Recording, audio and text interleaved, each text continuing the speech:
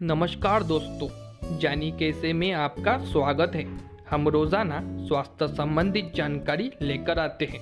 हमारे चैनल को सब्सक्राइब करना ना भूलें और साथ ही बेल आइकॉन को ज़रूर दबाएँ, जिससे कि हमारे सभी वीडियो की नोटिफिकेशन मिले आपको सबसे पहले।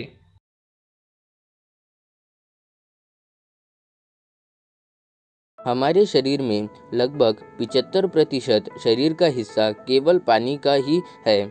किसी भी मनुष्य को 8 से 10 गिलास पानी ज़रूर पीना चाहिए। प्राचीन काल के वैद्य राजा महाराजाओं को तांबे के बर्तन में पानी रखने और पीने के लिए कहते थे। यूँ तो पानी पीना एक अच्छी आदत है। किसी भी रोग को दूर भगाने के लिए पानी एक रामबाण इलाज है। लेकिन क्या आपको पता है खाना खाते समय पानी पीना कितना हानिकारक है आपके सेहत के लिए। इसका सीधा असर आपकी पाचन शक्ति पर होता है।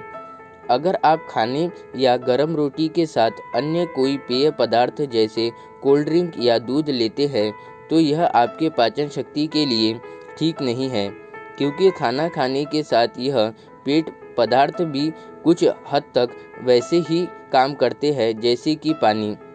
गर्म रोटी और खाना खाने के तुरंत बाद पानी पीना पाचन शक्ति के लिए बहुत ही हानिकारक होता है। इससे पाचन एंजाइम्स कमज़ोर हो जाते हैं।